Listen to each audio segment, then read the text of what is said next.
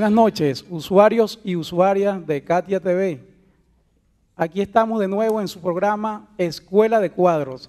Nos encontramos en, los estudios de Katia TV con un colectivo de estudiantes de la Universidad Bolivariana de Venezuela, entre los cuales tenemos a la señorita Shirley Hernández, Rodolfo Buitriago, Franklin Orellana, Jesús Peñalosa, a Mauri González, quien les habla Luis Álvarez, y el camarada Gabriel Gil del colectivo Asamblea Socialista. El programa de hoy eh, vamos a, tratar en torno al pensamiento político de Vladimir Ilich Lenin. Eh, más concretamente, eh, un pasaje contenido en sus obras completas denominado o titulado Nuestra tarea inmediata para lo cual eh, invitamos al camarada Gabriel Gil eh, que nos adentre, pues, eh, que nos haga una introducción para que, comencemos este conversatorio. Gabriel. Sí, gracias Luis.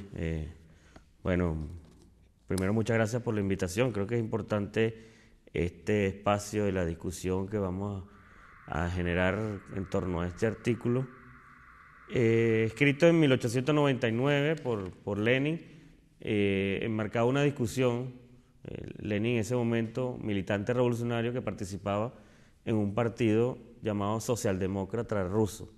Eh, y es importante recordar que la socialdemocracia en Europa era una cosa distinta en, esa, en, esos en ese periodo, en esos años. Era un partido de origen marxista, revolucionario, de una inspiración muy fuerte del movimiento obrero alemán, y que se llevó a todos los demás países de Europa, incluyendo el ruso. Y Lenin hace un, un artículo llamando a nuestra tarea inmediata como un llamado de atención a ciertas críticas que hace al Partido Socialdemócrata que pueden llevar a unas desviaciones que más adelante las vimos. Pues la socialdemocracia europea, em, después de 1914, se declaró prácticamente reformista en su generalidad eh, planteando su vía de llegar a, una sociedad más justa por la vía de reformas económicas únicamente y no por la vía revolucionaria de acabar con el Estado burgués. Y la socialdemocracia terminó degenerando lo que ahora vemos en Europa, los partidos que llaman socialistas, socialdemócratas, y que simplemente son partidos neoliberales y que incluso apoyan medidas fascistas desde esos países. Aquí en Venezuela tuvimos unos socialdemócratas como acción democrática, una demostración de un partido que se hacía llamar con el pueblo y que sin embargo había traicionado esto. Todo esto también viene de acotación de una lucha contra el reformismo que empieza por uno de esos, estos artículos como un inicio de esa lucha de Lenin dentro del Partido Socialdemócrata contra el reformismo. Y lo importante de esta discusión es lo fundamental de lo que, del pensamiento político de Lenin la lucha contra el reformismo y por la articulación de un movimiento revolucionario que sea capaz de destruir ese Estado burgués.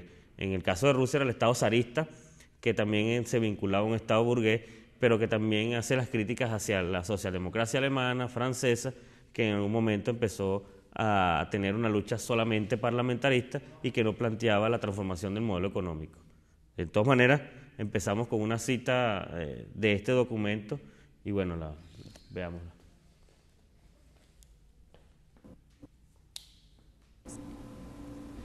¿Qué es la lucha de clase? Cuando los obreros de una fábrica, de un oficio, inician una lucha contra su patrono o sus patronos, ¿es eso lucha de clase? No, eso es tan solo sus brotes débiles. La lucha de los obreros se convierte en lucha de clase solo cuando los representantes de vanguardia de toda la clase obrera de un país adquieren conciencia de que son una clase unida y empiezan a actuar, no contra patronos aislados, sino contra toda la clase de los capitalistas y contra el gobierno que apoya a esa clase. Sí, este, bueno, algún comentario. Sí, bueno, lo que podemos eh, observar allí en la cita anterior eh, claramente es que eh, Lenin planteaba que no toda lucha reivindicativa, no toda lucha obrera es necesariamente, se convierte en una lucha de clase, ¿no? y que definitivamente una lucha de clase es cuando la totalidad de la clase obrera cuando la clase obrera eh, adquiere conciencia de que unida puede ser un poder para, para transformar esa, esa, relación de opresión que, que mantiene con, con, el modelo de, de, producción vigente, que en este caso es el capitalista, y que en la medida que se vayan organizando, que vayan tomando conciencia de clase, que vean eh, sus luchas contra eh, no solamente contra un patrón, sino, contra una clase en su totalidad eh, y contra el gobierno que, le sirve de, apoyo a esta clase, eh, en esa medida sí, sí, se puede considerar como una lucha de clase. Y esto es muy importante traerlo a colación porque hemos visto la experiencia en el sindicalismo latinoamericano, en el sindicalismo venezolano, eh, ese sindicalismo practicado por la CTV, donde se le hace creer al trabajador que todo está circunscrito solamente a, reivindicaciones de carácter socioeconómico y, se, deja de, se, deja de lado los planteamientos políticos de clase. Y me parece que ya Lenin este, eh, visionaba allí que la clase obrera tenía que ir eh, superando estadios de, organización y de conciencia para poder eh, superar el problema de, la opresión del capitalismo. Sí, en, ese marco que hace Lenin, una de las apreciaciones que yo he tenido de este documento es su ataque precisamente a los planteamientos reformistas de, de los grupos que dicen, bueno, la lucha de los obreros hay que luchar con los obreros y los obreros son los que van a, luchar por esas reivindicaciones laborales en estos momentos luchas aisladas en cada fábrica, en cada movimiento, que no son luchas que niegan los revolucionarios ni negamos en ningún momento, simplemente que no es el fin de la lucha. ¿no? Y el otro es el extremismo ultraizquierdista, vamos a decirlo así, o el radical, que a veces es más bien oportunismo, donde se plantea una lucha aislada en alguna parte del país, en un pequeño sector, como, como la panacea o la solución a, a sus problemas, ¿no? como, y olvidándose del resto de la clase, que, que vamos juntos de, la mano precisamente como única vía para transformar y romper con ese, con ese fenómeno capitalista, ese ciclo capitalista. Igual, o sea, sucede que si nosotros luchamos por aumentar nuestros salarios, eh, tenemos un beneficio, pero en corto tiempo volvemos a tener la inflación, eh, toda una serie de, perjuicios que vuelven otra vez a nuestra condición anterior. Eh, lo decía Mar y Angel en algún momento, que el problema no es la diferencia de salario, sino la condición de ser explotado. Y esa es la que nosotros tenemos que luchar por romper, la condición de ser explotado. Bueno, sí, sin ánimo de ser repetitivo con lo que han expresado los compañeros, según el documento que hemos leído aquí, nuestra tarea inmediata, yo analizo que ahí el, planteamiento es de que debemos asumir la vanguardia y no tomar de repente como ejemplo los obreros de una fábrica, no deben tomar al patrón como un enemigo personal, individual, que solamente se plantea en una lucha reivindicativa, mejora de salarios, distribución del tiempo. Yo creo que la lucha deben tomarla como un, enemigo general, como él solo es parte de un todo, de un todo, de un sistema explotador capitalista, de una sociedad de consumo. Entonces yo creo que la verdadera lucha ahí es unirnos todos, todas, todas las vanguardias de, la lucha del proletariado a nivel nacional. Bueno, también sin, sin ánimos de ser repetitivo, este, pienso que ahí Lenin introduce la, importancia de la conciencia también, ¿no? de tener conciencia, la conciencia del oprimido, del explotado, de que pertenece a una determinada clase que de repente tienen los mismos problemas. Por ejemplo, yo como obrero tengo un problema con mi patrono y yo puedo eh, sublevarme, puedo protestar, pero la lucha se convierte en política cuando yo me doy cuenta de que hay una gran cantidad de compañeros que también padecen el mismo problema y que bueno, que todos tenemos que actuar conjuntamente para ya no, este, digamos, impugnar eh, de, manera local ese, sistema, sino ya para impugnar un sistema, ¿verdad?, que explotador para, para coincidir con lo que dijo Rodolfo. Bueno, este, tú hablas también ahí de la socialdemocracia, de que fue tergiversada por lo, el paso de la historia. Bueno, Lenin en el, en el texto habla de que la socialdemocracia no se, no se reduce simplemente al servir movimiento obrero, que es, este, también le da en, como importancia la fusión del, del socialismo con el movimiento obrero. Quiere decir que se reproduce sobre las ideas del manifiesto comunista hecho por, por Marx. Y este, habla de, de introducir, eh, que la tarea de, la socialdemocracia era introducir al movimiento obrero ideas revolucionarias y socialistas. Entonces, con el pasar del tiempo, la socialdemocracia se fue este, cambiando, desviando sus su orígenes y tenemos la socialdemocracia que vemos en este momento. Entonces, Ahí es donde vemos la importancia de que tiene este, este documento para en la actualidad y en la construcción del socialismo, que también este, se, podría, se podría pensar de que la socialdemocracia que, que Lenin hablaba en ese tiempo es el socialismo que nosotros queremos construir. Eso es lo que, mi opinión en este, de este texto. Claro, cuando él habla también de, de, de que la socialdemocracia no se reduce simplemente a servir al, a los obreros. Una cosa importante es que a, veces se crean partidos como Acción Democrática, incluso, que tenía, había mucha gente valiosa en sus inicios, honestas, por decirlo así, pero que había un error ideológico que nos conduciría al a la, a la acción democrática del 58, que ya conocemos históricamente. Y eso de servir los, los adecos tenían que era pan, y trabajo, ¿no?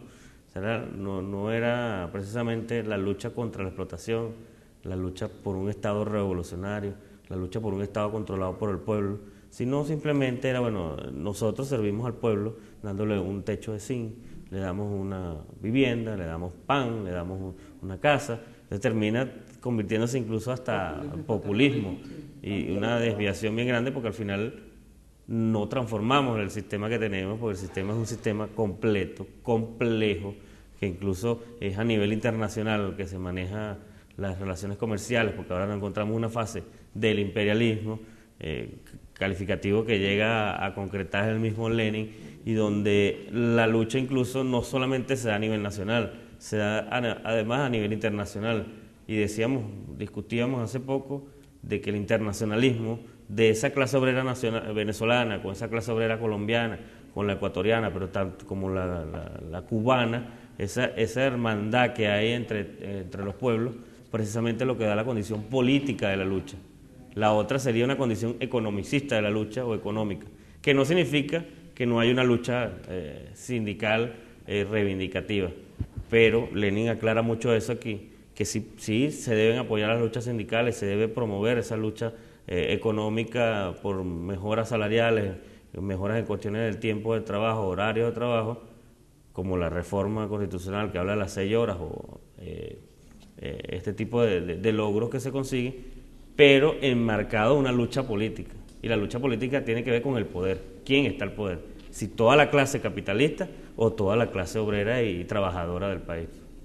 Es bastante importante lo que estás diciendo, porque actualmente eh, muchos grupos sociales, muchas organizaciones se alejan del resto del contexto nacional y comienzan a hacer actividades aisladas, actividades, como lo menciona aquí Lenin, artesanales, pues, que, no trascienden el trabajo social nacional. Y es una debilidad que tenemos porque realmente lo que nos falta es profundizar la articulación, profundizar lo que es la integración de todas las fuerzas rumbo a lo que es eh, eh, cambiar las estructuras. Eh, pero eh, bien es recalcar también, mencionaba que la lucha ahora no es solamente en un sector o en un país o, en eh, una realidad específica, sino que son de varios países, varios sectores, varios grupos, varias realidades, de distintas personas. Y Lenin mencionaba, acá, voy a leer textualmente, la creación del partido, si éste no está representado debidamente por un periódico determinado, no pasará de ser en gran medida letra muerta. Entiendas aquí, yo lo interpreto de esta manera. El periódico es aquella manera de difundir, de informar y, lograr esa comunicación con el resto de los camaradas que vienen organizándose en otros sectores. Si nosotros no, logramos informar, comunicar y compartir el trabajo, la información y el desarrollo que venimos eh, realizando con otros camaradas en otros sectores y en otras realidades, nunca vamos a unir las fuerzas necesarias para poder transformar la sociedad, porque nos vamos a quedar en formas aisladas. Veamos ahora el periódico que plantea Lenin en ese momento como los medios de comunicación, eh, los libros, los medios escritos, eh, los medios alternativos como esta televisora. Es decir, todos aquellos medios que nos permiten intercambiar en gran medida todo el trabajo que venimos haciendo, en rumbo a lo que es la profundización de lo que es las transformaciones sociales. Eh, otra cosa que mencionaba allí también es que dentro de, lo que es el, trabajo, o que dice la, tarea inmediata que hay que hacer, es establecer también son los mecanismos y órganos de trabajo interno dentro de lo que es el partido. Ahora el partido lo veo como que la organización social, el PSU. Dentro de nuestro trabajo es aclarar la definición y el papel de cada uno dentro, dentro del partido porque ciertamente no todos vamos a estar metidos en todo, que cada uno tiene una tarea específica y aquí lo menciona él es que algunos, algunos tienen que estar eh, en la articulación de algunos sectores eh, para que pueda servir de realmente de, que ese partido es el partido del pueblo, es el partido de los grupos sociales y no es el partido como históricamente fueron los partidos, el partido de una élite porque se desvinculaban de los grupos sociales. Yo creo que él lo menciona acá eh, muy bastante específico al decir que la socialdemocracia, la, socialdemocracia en ese momento no debía desvincularse en ningún momento de la lucha obrera. Entiéndase ahora que nosotros en ningún momento eh, debemos vincularnos de los consejos comunales, de los consejos estudiantiles, de los consejos obreros, de la lucha popular, en ningún momento, porque si lo hacemos estaremos perdiendo la lucha y estaríamos dándole más pasos al capitalismo. Sí, algo también eh, es importante ¿no? aclarar que no, no, se niega la lucha eh, de, los movimientos de masa, de las organizaciones populares, como el Consejo Comunal. Mucho se ha hecho la crítica que un Consejo Comunal se desvía solamente a resolver problemas económicos y la gente se va directamente al banco, eh, a, la cooperativa y al, financiamiento y el trabajo, otro trabajo que habría que hacer se pierde pero esa es la labor del revolucionario, ¿no? Del revolucionario que está ahí, el militante del partido revolucionario, que entra a un consejo comunal y precisamente da orientaciones y con, por su formación revolucionaria hacia una lucha política central. Y cuando hablamos de una lucha política central lo podemos ver cuando, cuando se configura el, el Partido Socialista Unido de Venezuela. El Partido Socialista Unido de Venezuela no se configura haciendo nada más los batallones y ya se configuró se configura con los batallones y luego con la elección de delegados que van al Congreso Nacional para elegir un solo programa, una sola organización, con una sola dirección nacional que nos permita precisamente actuar en conjunto y con el mismo objetivo. Sí, eh, eh, este planteamiento de Lenin eh, tiene una pertinencia tremenda en la actualidad donde observamos lamentablemente a un movimiento obrero bastante atomizado, eh, sin, una dirección única, dividido en, varias, en varias tendencias.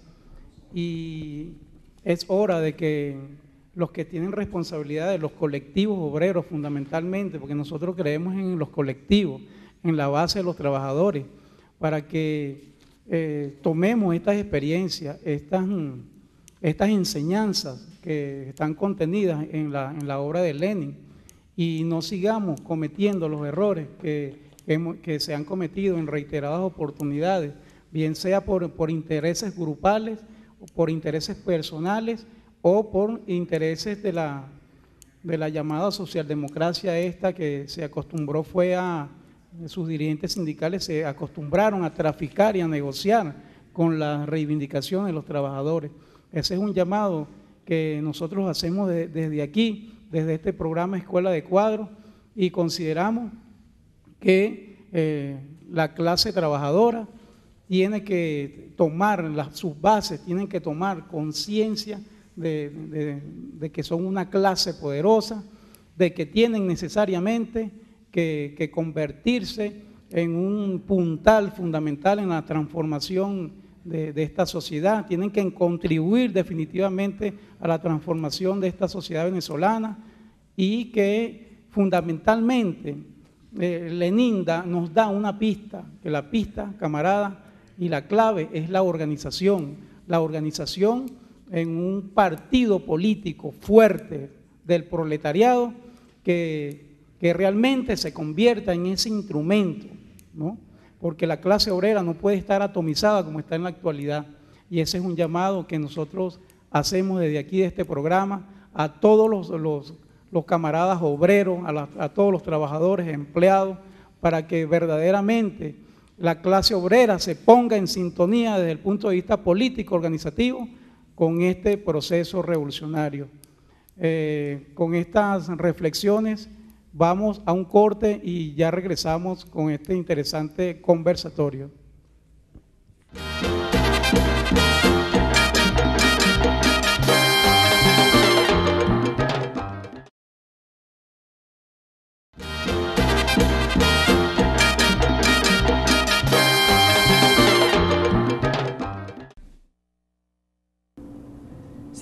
Erróneo interpretar la famosa tesis de Marx de que toda lucha de clases es una lucha política, en el sentido de que cualquier lucha de los obreros contra los patronos sea siempre una lucha política. Hay que interpretarla de modo que la lucha de los obreros contra los capitalistas se convierte necesariamente en lucha política a medida que se convierte en lucha de clases. La tarea consiste precisamente en transformar por medio de la organización de los obreros la propaganda y agitación entre ellos, su lucha espontánea contra sus opresores, en una lucha de toda la clase, una lucha de un partido político determinado por determinados ideales políticos y socialistas. La sola actividad local no basta para cumplir semejante tarea. Sí, bueno, eh, la cita eh, contiene varios, varios elementos que son necesarios analizar en, profundidad. Eh, indiscutiblemente que no toda la lucha de los trabajadores es, es, una lucha de clases, ¿no? Y Lenin plantea que para que sea una lucha, para que se convierta en una lucha política, tiene que necesariamente el movimiento obrero organizado este, convertirla en una lucha de, de clase, en una lucha de todo. O sea, no, por ejemplo, vamos a, desmenuzar esto, eh, por ejemplo, lo que está sucediendo en el movimiento obrero venezolano, donde observamos eh, una, una división donde hay eh, aproximadamente como cinco o seis tendencias donde no hay un objetivo claro y lamentablemente eso, eso desvirtúa realmente cualquier tipo de lucha que, esto, que cada uno de estos sectores de manera aislada asuman por su, por su lado, porque no se estaba asumiendo la lucha de los trabajadores eh, de, manera, de manera integral, de manera, desde el punto de vista de clase. ¿no? Al contrario, nos parece que, que esta es una posición que más bien eh, tiende eh, hacia el reformismo, hacia, la reproducción de la dominación de la clase trabajadora. Y, este, por supuesto, eh, Lenin, muy sabiamente, consciente de, esta situación, por ejemplo, ahorita ahí, se han presentado conflictos obreros en, Ciudad Guayana, en, en, las empresas de la CBG. ¿ve?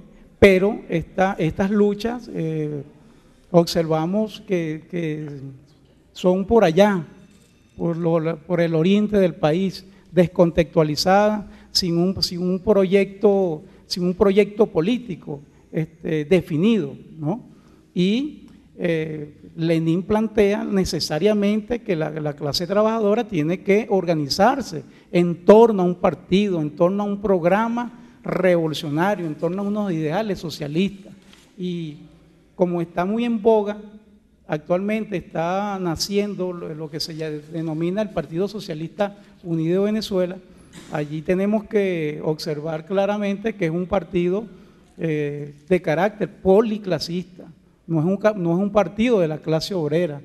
Y eh, nos imaginamos que, como está enmarcado dentro de, un proyecto revolucionario, en una praxis popular, eh, este partido tiene necesariamente que convertirse en un partido de clase. Si, aspiramos eh, realmente que se convierta en un partido que le sirva de instrumento a, que transformemos estas estructuras, que este proceso revolucionario no ha logrado transformar, tenemos que convertirlo en un partido, en un poderoso partido de clase, porque se ha demostrado que los partidos policlasistas tienden este, fundamentalmente hacia la socialdemocracia. Y la socialdemocracia, ustedes, todos nosotros conocemos los resultados que ha, que ha tenido para el movimiento eh, obrero latinoamericano y para todos los pueblos latinoamericanos. Eh, no, por ejemplo, tenemos el, caso ahorita de Podemos. Podemos es un partido eh, de tendencia socialdemócrata es un partido que está apoyando, pues, que, ya se puso prácticamente en contra del, movimiento revolucionario, del proyecto revolucionario que está encarnando nuestro presidente Hugo Chávez Frías. Y, ellos necesariamente están coincidiendo con las posiciones políticas de la oposición.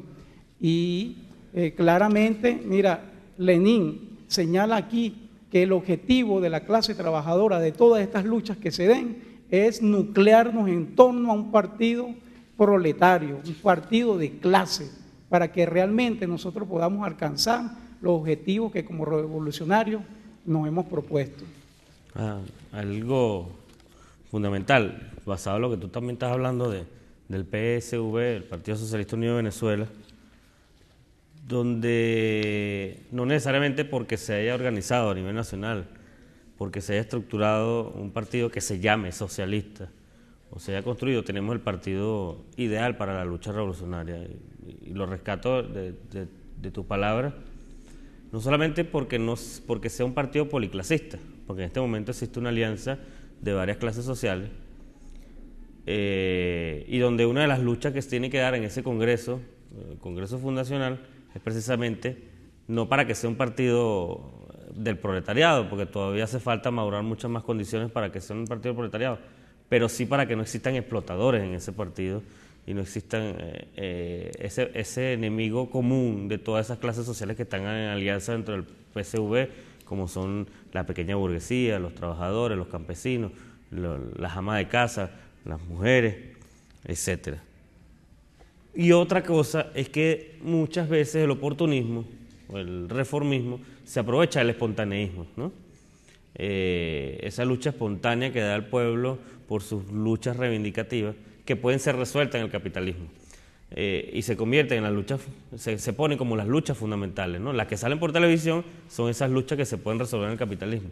Digo, un aumento de salario se puede resolver en el capitalismo. Lo hemos vivido en PDVSA, lo hemos vivido en Estados Unidos, lo hemos vivido en Inglaterra, lo hemos vivido en Francia. Eh, educación gratuita hay países capitalistas que lo han resuelto también, como Francia, eh, Alemania. Eh, una salud bien distribuida a nivel nacional se ha resuelto. Sin embargo, aquí nosotros estamos luchando contra el imperialismo y además por el socialismo, son dos cosas, ¿no?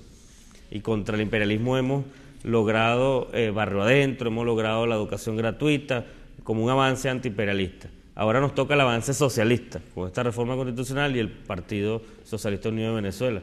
Y eso implica un cambio en la forma de lucha que se está planteando. Eh, la configuración del Partido Socialista Unido de Venezuela puede tener una debilidad y que Lenin aquí la detecta en 1899 en los socialdemócratas, y es que no se plantee toda la forma de lucha precisamente para acabar con toda la clase explotadora del, país.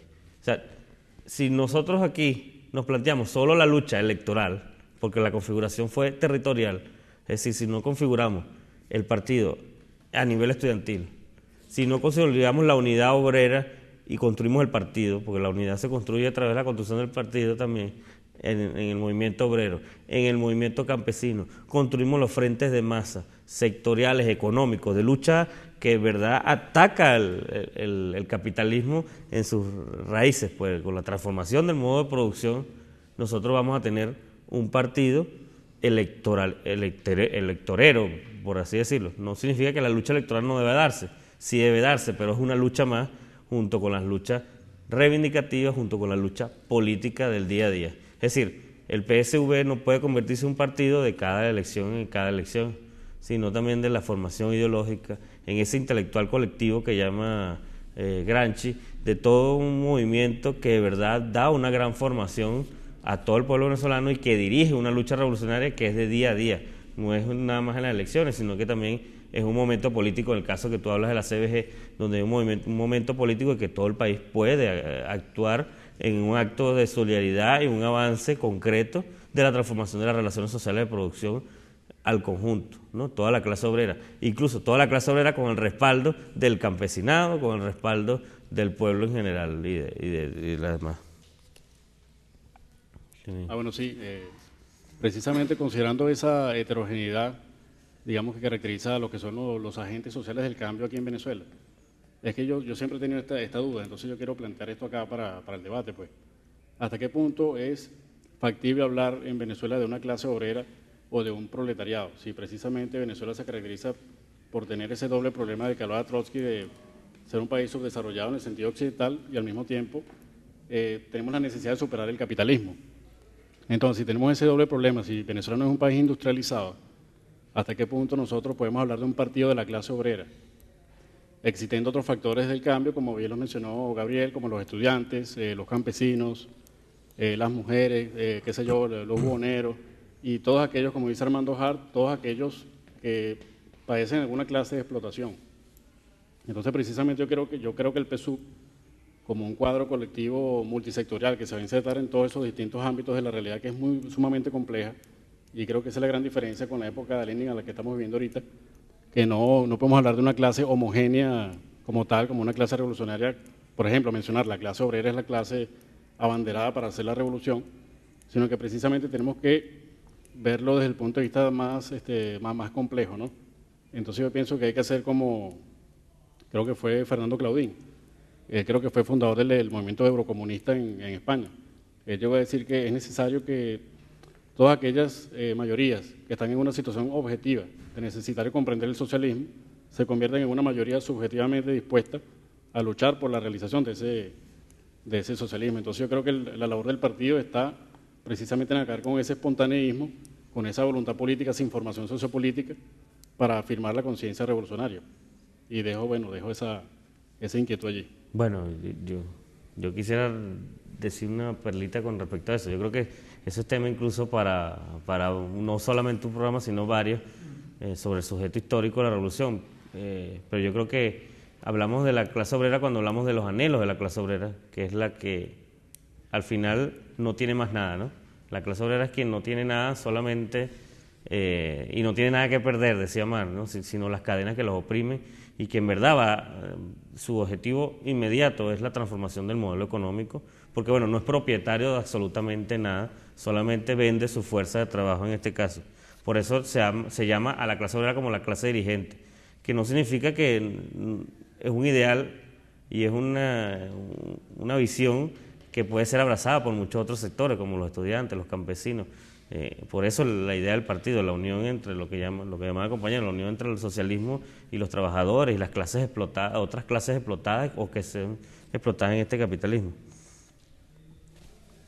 Bueno, te comienzo diciendo un poquito sobre lo que dicen que si lo que es bueno para el pavo es bueno para la pava. También tirémosle un poquito al gobierno, que en este caso de la conformación del partido y de las de las estructuras de, organización del movimiento obrero, yo creo que ha sido falta de voluntad política de verdaderamente organizar los movimientos, los movimientos obreros, los movimientos proletarios. No ha habido verdaderamente o sinceramente una interpretación del poder que se tiene, de estar organizados como obreros.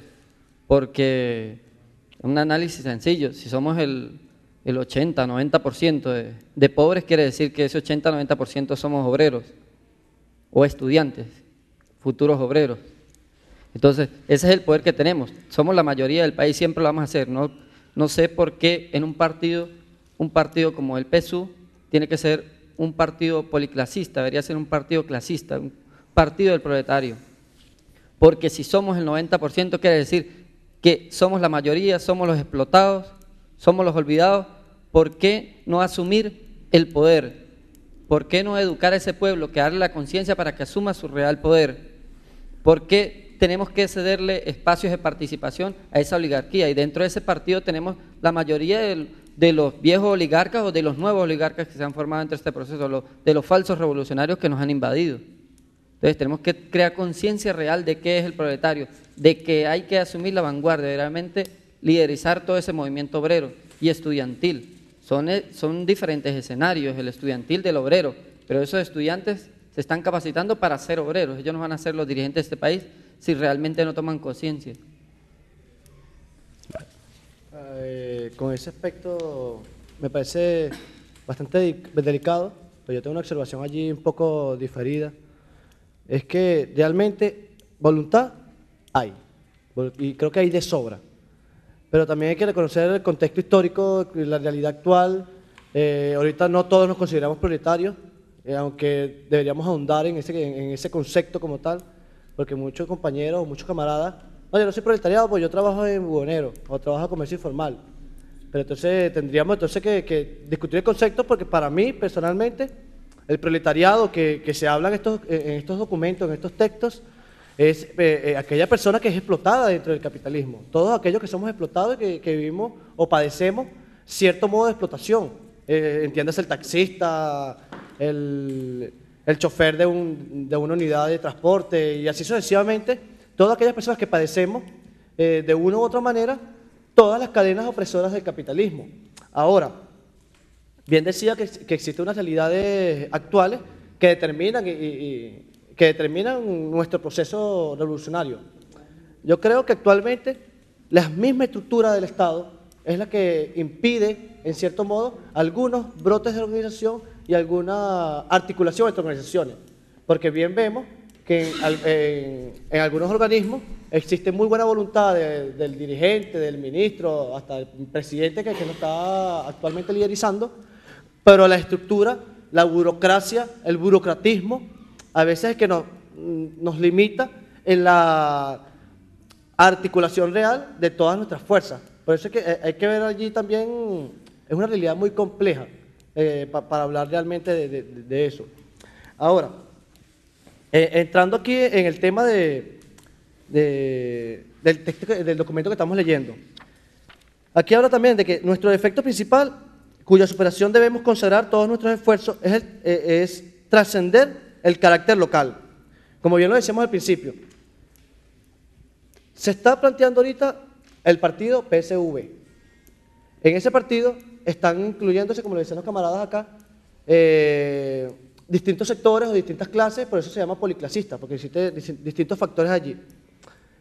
Pero dentro de esos factores dentro de la discusión del, Congreso Fundacional y del partido como tal, hay que discutir y hay que plantearse, vamos a, radicalizar un poco allí cuál es la función de los que estamos dentro del partido, para que no vaya a pasar que se meta una persona, un oligarca, o se meta un, un oportunista que se aproveche como aún no tenemos una definición clara de cada colectivo, de cada batallón, de cada pelotón, entonces se aproveche del trabajo de alguno de ellos para eh, montarse, hacer, un, colocarse en un puesto estratégico pues, y mantener la supervivencia de cierto poder burgués, cierta, cierta estructura capitalista.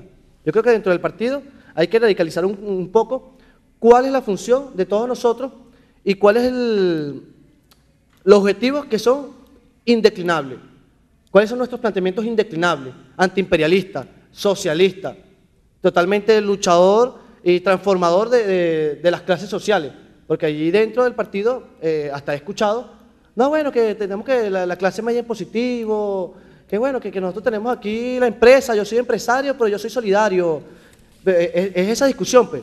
Es esa discusión. Si nosotros estamos hablando de que estamos luchando en nuestro sector, bueno, tenemos que ver cuál es la lucha colectiva para que eso realmente, si es por un lado inocencia, aclarar de que ese, tú no puedes ser socialista si sigues explotando.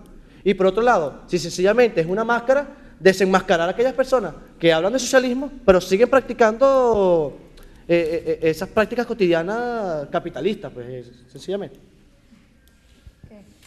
Este, yo quisiera hacer este, una pregunta sobre lo- la. Por lo que han hablado aquí, este, a mi parecer, este, el Partido Socialista abarca este, la- más que todo la clase obrera.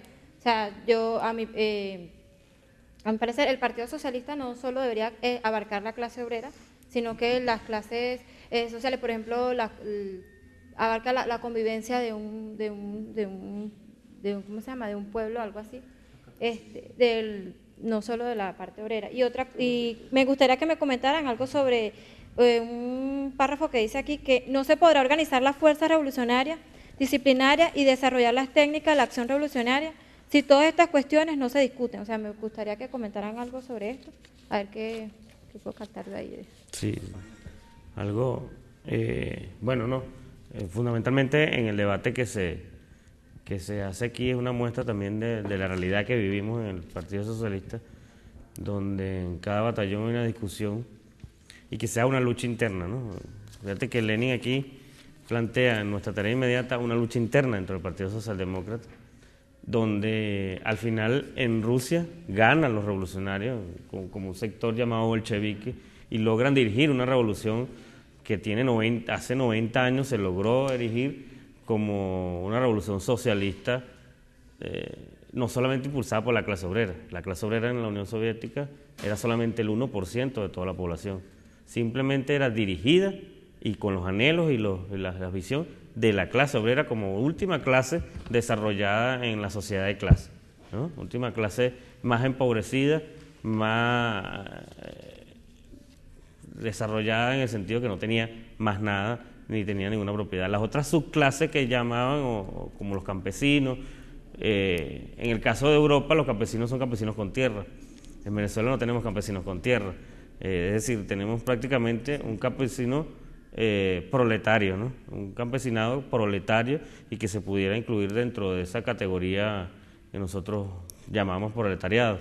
Y igual sucede con el bonero. El bonero no es dueño muchas veces de su mercancía, simplemente es un revendedor de mercancía traída por un capitalista, solo que no hay relaciones legales, ¿no? Y entonces por eso lo llaman informales, no hay relaciones que estén basadas en las normas del CENIA, del, Código del Comercio, sino que está basado sobre normas ilegales de relaciones y que no está asegurado en el seguro social, no cumple con todas esas normas y por eso, pero no deja de ser un- una explotación y un trabajador que trabaja en el área del comercio precisamente en esto.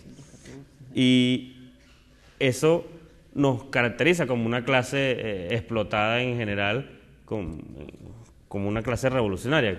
Creo que eso es fundamental. Ahora, esa lucha se da también al interno del PSV. El problema está en lo que dice aquí Lenin, en la conciencia, ¿no? en la conciencia de lo que somos. Si somos um, comunidades que merecemos que nos hagan una mejor acera, una mejor calle, o simplemente o, que- somos explotados y que queremos acabar con un régimen de explotación en el mundo incluso, ¿no? a nivel global.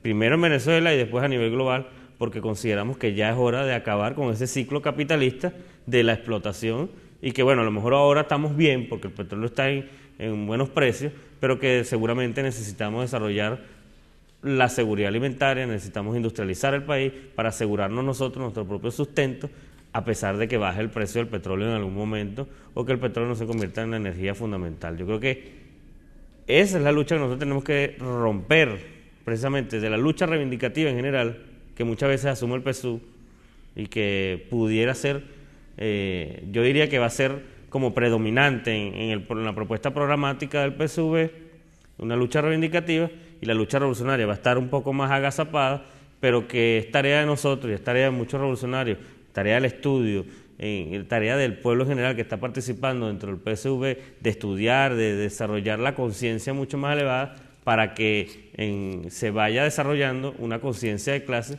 y una lucha programática. Es decir, la lucha interna del PSV no va a ser la de quítate tú para ponerme yo. Tú eres dirigente, yo no quiero que usted, tú seas el dirigente. Es el programa. Tú defiendes un programa reformista, yo defiendo un programa revolucionario, y si yo defiendo un programa revolucionario paso, eh, reformista, paso a ser del, bando de los reformistas. No es que tú tienes la cara más bonita o, no, y pasa mucho ese horror. Este me dio una bolsa de comida, o este me ayudó, o este, y, eso no, ese no es el detalle. El detalle es el programa, y para eso necesitamos mayor formación. Eh, sí, bueno, yo, tenía, bueno, yo sigo con una inquietud también con respecto al, papel del partido, porque si tradicionalmente un partido era como una especie de mediador entre la sociedad por una parte y el Estado por otra parte, o un partido burgués. Y, muchas veces para, para impugnar ese Estado o para, para, para destruir ese Estado, entonces se supone que nuestro Estado actualmente es el que está impulsando la revolución. Y ese partido no, no sería, digamos, una, un mediador, o su papel no sería de mediador, o de, intermediario entre esa sociedad civil popular, como es un término que acuñó Chávez que me parece bien interesante, porque no estamos hablando de la sociedad civil neoliberal, ese conjunto de empresarios industriales, sino digamos a esa serie de, bloques sociopolíticos, CTU, consejos comunales, mesas técnicas de agua, etcétera, que van a, digamos que se convierten en ese nuevo sujeto eh, revolucionario. Entonces, pues, la pregunta es, si este partido no es un intermediario, entonces su papel, ¿cuál sería? Eh, digamos, la consolidación de ese poder popular, afirmar esa conciencia revolucionaria. Y otra inquietud que tenía era precisamente eso de los boneros, porque hay muchos boneros que son, son unos burgueses prácticamente. Muchas veces se habla de los boneros como si fueran un sector excluido o un sector pobre, explotado, pero resulta que hay boneros que manejan eh, una cantidad de dinero importantes y bueno, eh, hasta han llegado a conformar redes de, de, comercio y bueno, se han convertido en una, o forman parte de esa burguesía comercial que nosotros tenemos, esa burguesía importadora. Porque, y eso es otra cosa, y vuelvo otra vez al elemento de la industrialización, hasta qué punto nosotros pues, podemos hacer una revolución sin primero pasar por un proceso de revolución burguesa, de industrialización, porque pareciera que estamos adquiriendo la conciencia socialista, pero no tenemos todavía la capacidad productiva para garantizar, digamos, un mercado interno y, nuestro propio consumo antes de, digamos, hacer una revolución verdaderamente socialista. Sí, sobre la, el papel del, del, partido, bueno, el concepto de mediador es un concepto burgués, ¿no? que viene desde, el Estado burgués, donde se establece que el partido es mediador entre la sociedad, entre el pueblo y, el Estado. Eh, aquí, cuando se habla de eso, se habla de un Estado que también es mediador entre las clases sociales. Y el concepto marxista de un Estado es distinto al concepto burgués, el Estado como como un ente de opresión de una clase por otra y que el Estado burgués es utilizado por la clase burguesa para explotar a la clase proletaria y el Partido Revolucionario consiste precisamente en destruir el Estado burgués para construir ese Estado revolucionario. Ahora, en el contexto venezolano sucede que el partido hasta hace poco, o todavía lo sigue siendo, normalmente era el Estado. Es decir, nosotros actuamos por los funcionarios, dirigidos por funcionarios públicos, que son nombrados a dedo. Ahora, en la nueva fase son dirigentes revolucionarios electos desde la base, que son dirigentes mm, electos a lo mejor por algunas vías no, no éticas, por decirlo así, pero electos al final, ¿no? que son dirigentes que hacen un paso distinto de la, de la dirección de la revolución, que es importante que se independice del Estado. Es decir, no podemos tener un partido de funcionarios y ahí tenemos que cuidarnos porque termina haciéndose un partido eh, basado en el clientelismo, que defiende el burocratismo y que es uno de los errores de la, de, la burocracia soviética, donde los 23 millones de funcionarios del Estado eran los 23 millones de militantes del partido. Entonces era como que una relación Estado-partido, eh, simbiosis que hizo mucho daño y burocratizó mucho. Sin embargo, creo que queda... Yo, yo quisiera hacer una reflexión, ¿no? Lenin eh, a lo último de este documento dice y, aclara, ¿no? no creemos en conspiraciones, renunciamos a derribar el gobierno mediante acciones revolucionarias aisladas. La consigna práctica de nuestro trabajo son las palabras del veterano de la socialdemocracia alemana, estudiar, eh, este es Lienneck, estudiar, hacer propaganda y organizar. Creo que eh, está claro lo que el planteamiento de Lenin, el Lenin está haciendo un llamado a que no, no se trata de cuatro personas que van a la toma del poder eh, por vía violenta o, por la vía que sea eh, por macollerismo democrático, por la violencia eh, física, sino que la revolución la hacen los pueblos. Y lo que se trata del partido es precisamente, el partido es un organizador de esa revolución y cuando nosotros hablamos de, la función del partido es eso, organizar la revolución, incluso en este momento donde tenemos el gobierno, pero no tenemos, la revolución, no tenemos el Estado revolucionario concreto. Están las bases del Estado revolucionario, los consejos comunales, construyéndose en este momento la conciencia del pueblo, no solamente lo material, lo que nosotros estamos hablando, sino la conciencia del pueblo también tiene que ir avanzando de forma que nosotros en verdad garanticemos la instauración de un Estado revolucionario y la destrucción de ese viejo Estado burgués. Luis. Bueno, eh, con estas últimas reflexiones eh, damos por eh, concluido este programa Escuela de Cuadro por el, por el día de hoy. por supuesto que vamos a seguir profundizando en, estos temas que nos parecen pertinentes, porque como sabemos actualmente el proceso revolucionario venezolano está atravesando por una etapa que a nuestro modo es crucial eh, si el Partido Socialista Unido de Venezuela logra convertirse en un verdadero instrumento eh, que le sirva de puntal para lograr las transformaciones que este, el pueblo venezolano se ha planteado y que este, fundamentalmente las enseñanzas de Lenin eh, en, este, en este artículo analizado en el día de hoy nos parece digno de análisis por todo el pueblo venezolano y especialmente por la clase obrera. Eh, eso lo consideramos eh, pertinente, perentorio y urgente, porque somos reiterativos en lo que tiene que ver con la formación política e ideológica del pueblo de Venezuela.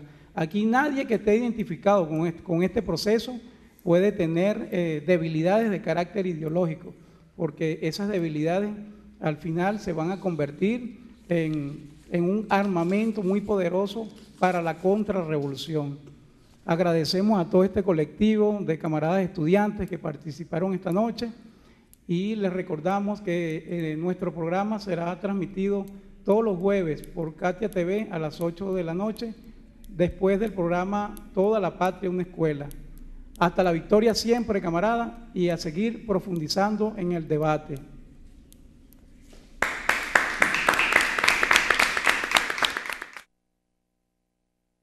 Basta ya de métodos artesanos. Ya estamos suficientemente maduros para pasar a un trabajo de conjunto, a la preparación de un programa común del partido, a la discusión colectiva sobre la táctica y la organización de nuestro partido.